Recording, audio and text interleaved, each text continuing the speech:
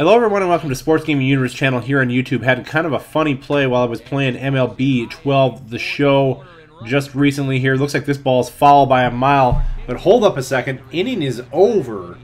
Right fielder disappears. What happened? Did he run into the crowd like a zombie? Now there's a little bit of a cutout there. We'll look at Markakis go back here, and indeed there's just enough of a cutout for him to make the catch on this play.